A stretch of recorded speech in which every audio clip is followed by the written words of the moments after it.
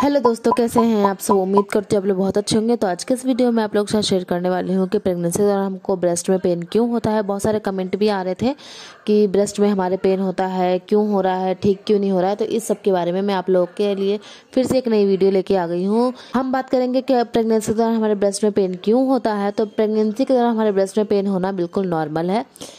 Early pregnancy symptoms के रूप में भी हम ब्रेस्ट में पेन देख सकते हैं। करते हैं कि हमारे ब्रेस्ट में पेन क्यों होता है? तो ब्रेस्ट में पेन होना बिल्कुल नॉर्मल है। ब्रेस्ट में पेन हमारा इसलिए होता है क्योंकि हमारा जो ब्रेस्ट होता है, वो रेडी हो रहा होता है बेबी को फ़ीड कराने के लिए।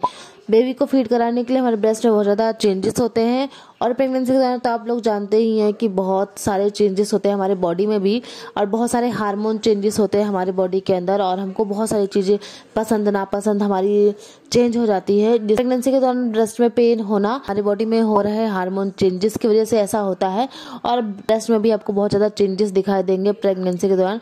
ब्रेस्ट में आपको बहुत ज़्यादा ईचिंग हो सकती है, बहुत ज़्यादा पेन हो सकता है। आपको ब्रेस्ट में ईचिंग करने के लिए अपने नाखूनों का यूज़ बिल्कुल भी नहीं करना है। किसी सॉफ्ट कपड़े से आप हल्का सा रब कर सकते हैं। इससे आपकी इचिंग जो है वो ख़त्म हो जाएगी। उसके साथ ही आप उसके ऊपर कोकोनट ऑयल या फिर बॉडी लोशन भी यूज़ कर सकते हैं, जिससे इचिंग जो है वो थोड़ी कम हो जाएगी। और ये जो ब्रेस्ट का पेन जो है वो आपकी डिलीवरी होने के एक मंथ के अंदर ही ब्रेस्ट का जो पेन है बिल्कुल ख़त्म हो जाएगा।